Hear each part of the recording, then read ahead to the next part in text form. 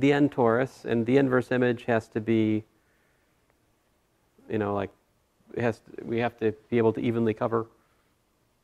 And, and so the, it's li- literally just what we've already done, just component by component. 2 pi i t1, 2 pi i t2, e to the 2 pi i tn. And this example serves to illustrate the general theorem if you have um, I mean, you could, you, could- you generalize this. If you had a space 1 covered by a space 2, um, let's say, no, space, space you had x1 covered by e1, x2 covered by e2, x3 covered by e3, and so forth, you just form the Cartesian product of the covering maps. Like let P be P1 cross P2 cross P3 and so forth. And the Cartesian product of the covering maps would itself be a covering map for the product because those details work out for the product. Yes? For infinite products, I don't know. It's a good question, though. Um, I do not know. There are many things I do not know, though. That is just one of them. So, are there infinitely many things I don't know? Probably. Countably infinite. I think you can argue that the things I don't know are countably infinite, but then that becomes a point of mathematical philosophy. Do you believe that things are not known are known, even if they're not known by humans? Ah, yes, but does math exist outside of people being able to write it down? See, that's the question that I'm asking. It's the Platonic question Does math exist outside our reality?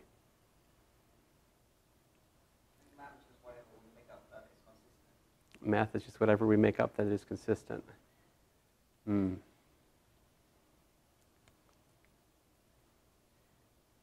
Yeah, I don't know. These are, you know, these are questions people debate.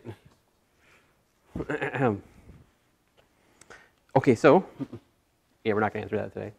Uh, so finally, we reached the next and important definition of a covering map. Definition, um, well, uh, rather a lift. Let, let P from E to X be covering map. All right. Um, y, a topological space. All right, great. And f, a continuous map from y to x.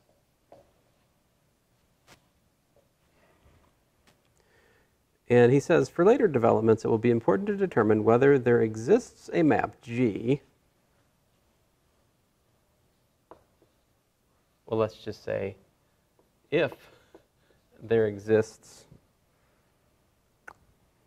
G going from Y to E such that P composed with G is equal to F, then G is a lift um, of F.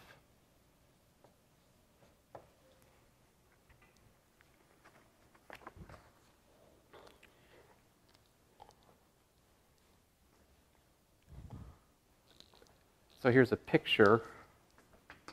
Here's a picture of this. Because you can state this notion in terms of a diagram, it probably makes it more rememberable, if you will. So here's the y.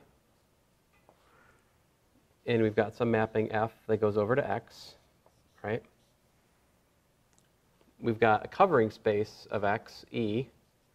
And here's our, our covering map, p, going from e down to x. And then a lift in this situation is like this. If you can find a, a, mapping G that makes this diagram commute, then G is said to be a lift of F. So what does this diagram commute mean? So the diagram commuting means P composed, see, P composed with G would be like this, right? And F goes like that.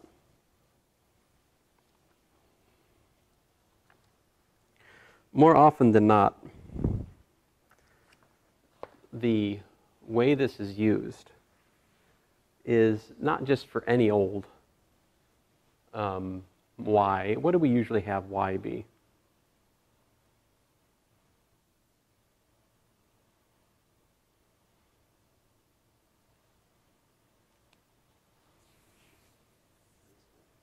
What's that? Some base point? Well, no, no, no, no. What y usually is, is just the unit interval. Our most interesting application, really, for the moment at least, is when this is equal. Now, this is not part of the definition, but in terms of thinking about this, why this is an interesting concept is what does this mean?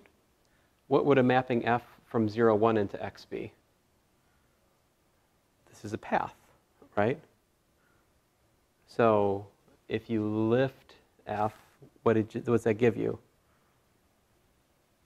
You take a path in x to a path in the covering space. All right, so that, that's why that's interesting. Let me write some lemmas down for us.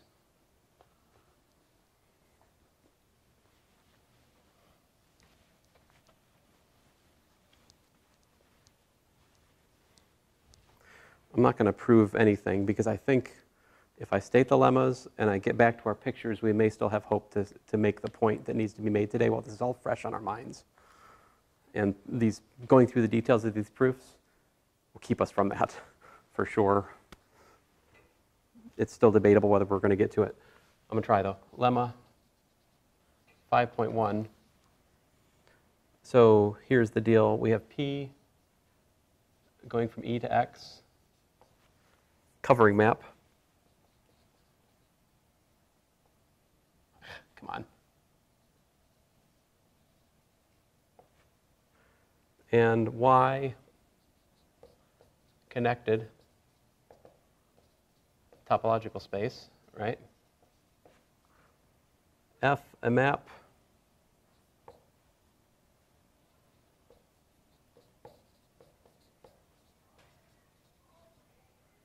And suppose um, G and H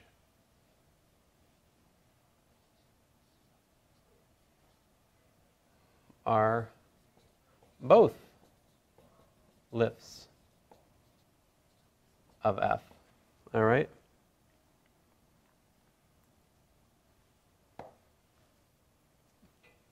Here it is. If g of y is equal to h of y for some point, just one will do,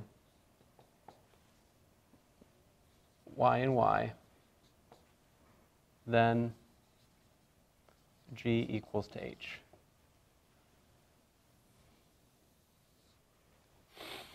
So if two lifts match up at even one point, they're the same lift. Does this apply to the context that I was talking about? Is 0, 1 a connected space? It is, right?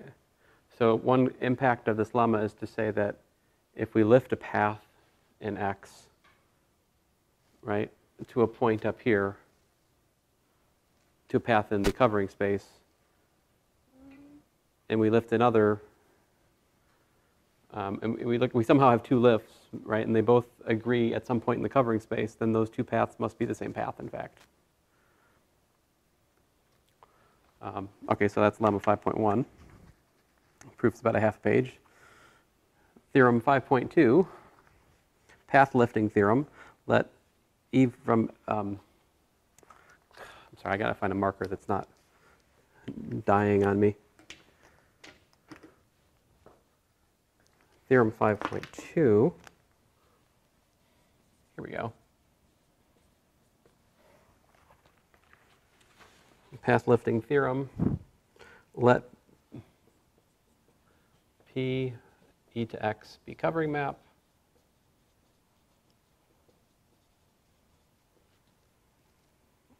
And gamma from 0 to 1 into x a path.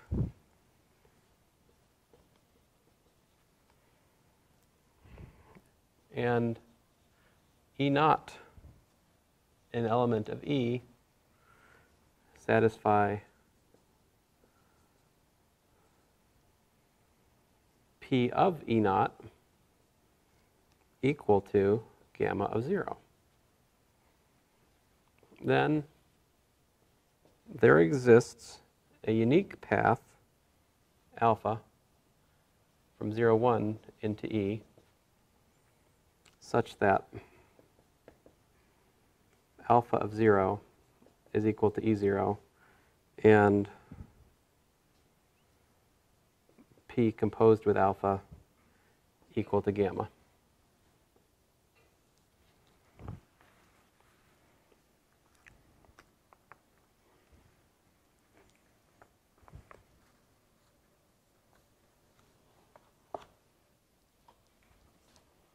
Think it's worthwhile to try to draw a picture of this theorem, even if we don't prove it, right? So what's the idea here? Covering map. Um, and I'm, I'm going to draw the picture for the covering space a little bit more sort of vaguely. I'm going to draw the covering space kind of like a, like a cube. And I'm going to draw the, the space down here that we're covering like that. Right? And I'm supposing that uh, gamma from 0 to 1 is a path. So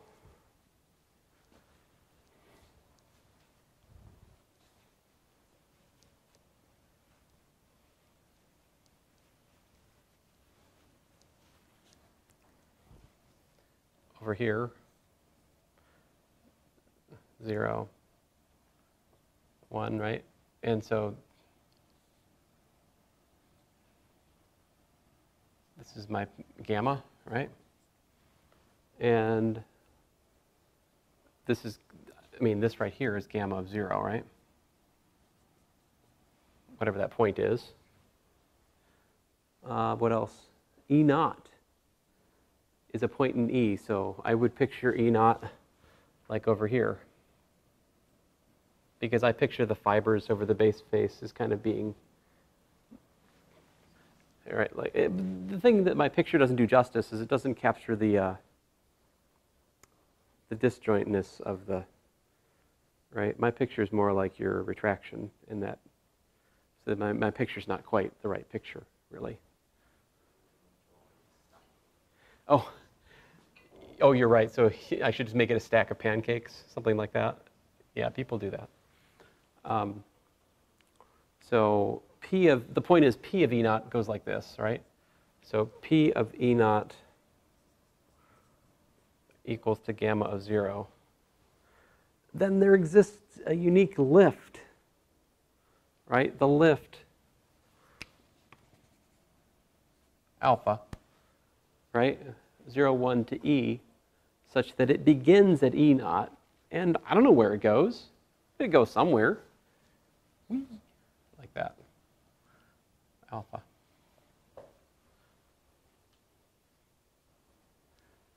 And P of E naught goes to gamma 0. We don't get to say that the endpoint of gamma is matched by the endpoint of the lift. Okay. So like an interesting example of this could be something like this could be a loop all right, let me draw it in a different color.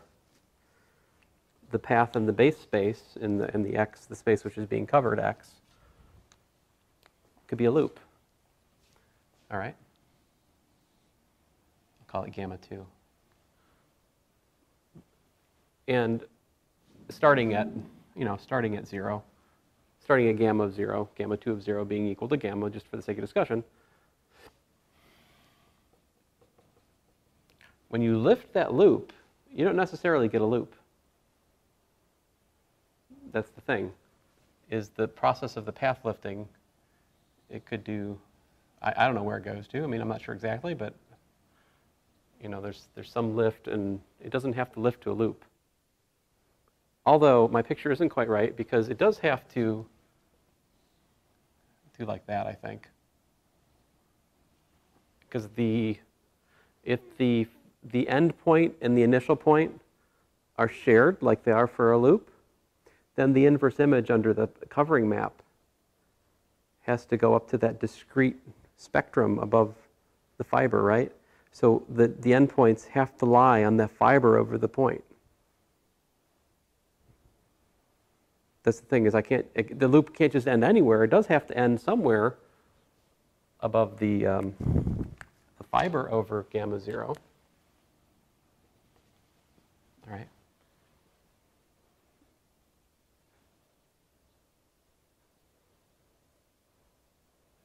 Okay. But you can prove that there's a unique path. This is the path lifting theorem. And we, we may come back and prove the, these theorems in detail if I, if I, I, I have to check our schedule, see if we have time or not. But if we do, I'll come back and prove them, most likely. Um, let's see here, time, time, time, time, time. Theorem 5.3.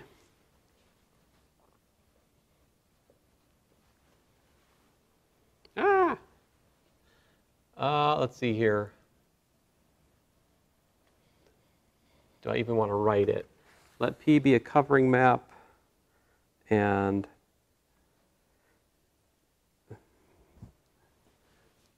let's see, I have to write, I have to write it down because it'll help me find the words to tell you what this theorem is saying.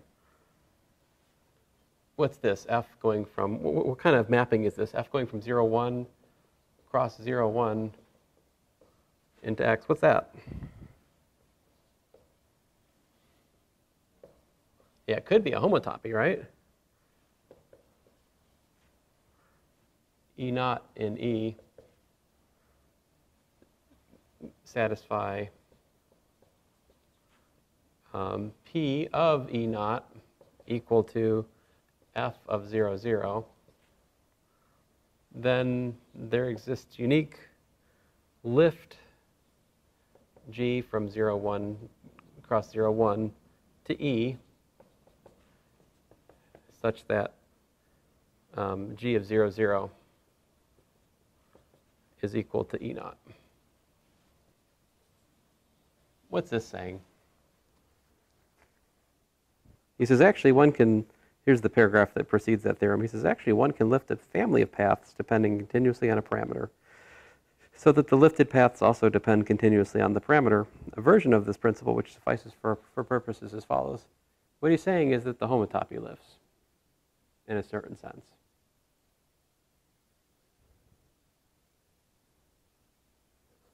Yeah.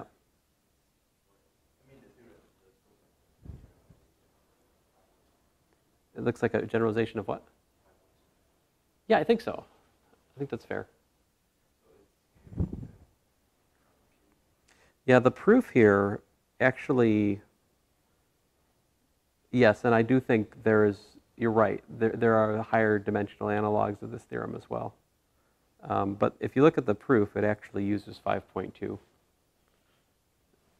and some systematic thievery. Um, so what then he does is he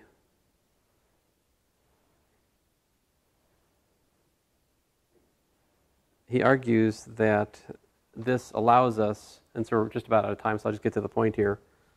The theorem is basically this 5.4 um, if we have P, a mapping from a pointed space EE to XB with, um, you know, that's a covering space, and suppose that E is simply connected.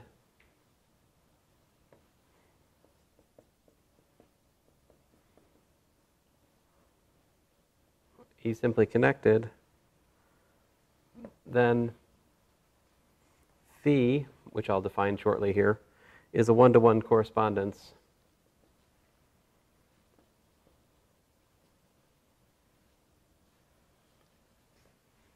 of the fundamental group of x based at b and the fiber over b.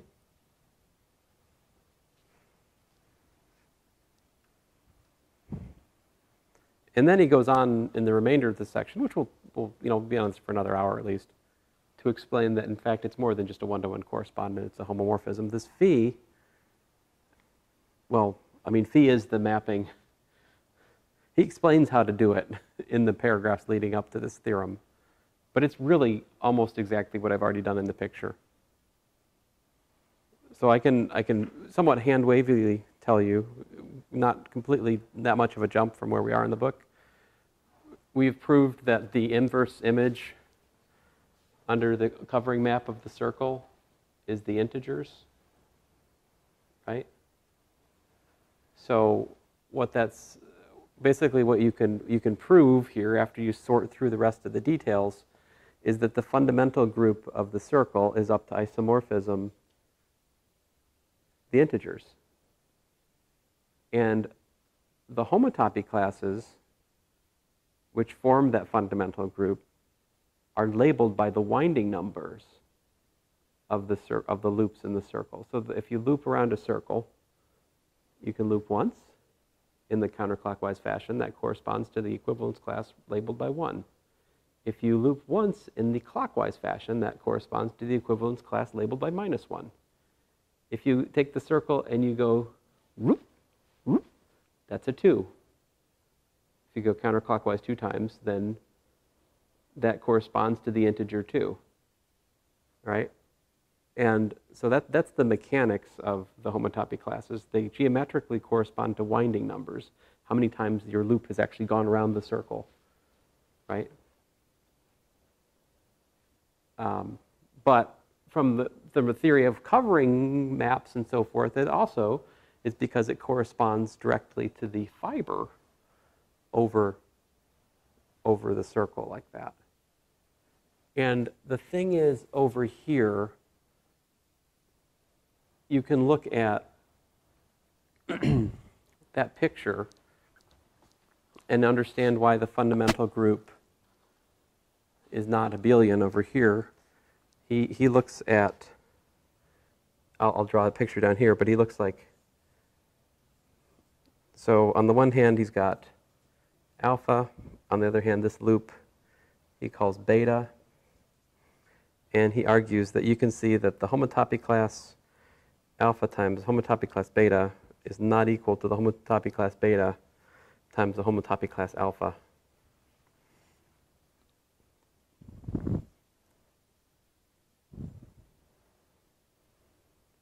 And he, he, he, he makes that he makes that explicit by sorting through the covering map idea. So like, I, I can't quite get to it today, but there's a picture on page 128 which tries to really explain why those are not equal.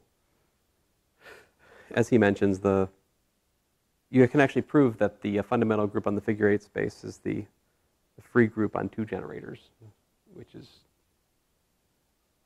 not non-abelian and infinite and an example which I never gave you in group theory. So if you didn't take group theory, you're not missing out on anything. Because I, I said like no words about, well, I, I said hardly a word about words in, in group theory. So.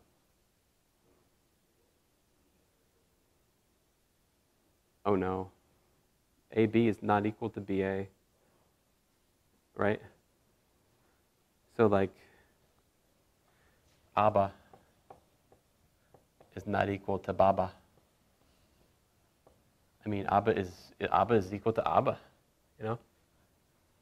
So, I mean, it's not to say that you can't write different words different ways, but like the free group on two generators is something like, I don't know what, what do you want to use your notation for it. It's AB. It's it's all the words you can write in A, B, and their inverses. So it's, I mean, a, B, A, B, A, B, A, B, A, B, A, B, A, B, A, B, A, B, an element. You can write down its inverse. Right? The identity is the empty word. Right? So.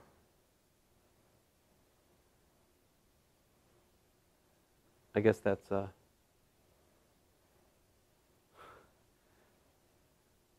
well, anyway. I should, I should not, should not make uh, comments about words that are empty, so. Let's see here. All right, anyway, so that's a good place to stop. We have much more to say about path lifting and the concept of covering maps. I want to try to really just kind of park the course here for a day or two and make sure we kind of like absorb this. It has really, really fascinating applications to vector fields and like distinguishing vector. fi- I mean, there's the applications to the fundamental group at the end of this chapter are really kind of surprising, I think, and help you to start understanding why people care about topology. It's not just you know making abstract definitions to punish students. It's much more than that. Solving problems that if you were stuck in your epsilon delta classical analysis way of thinking, you would you'd still be stuck there. Or you'd have to be somebody like Grothendieck or whatever to, to crack it. and I-. Is it, is it easier to, I think if you can think of it abstractly, it allows you to use theorems that people who are more clever than you have developed. And so it allows you to find solutions to problems that maybe you wouldn't find. Because that theorem is incredibly technical. So when you use that, when you find a way to abstract your problem so that you can use a deep theorem, that may be a way to run around what in your current notation would be something truly horrible.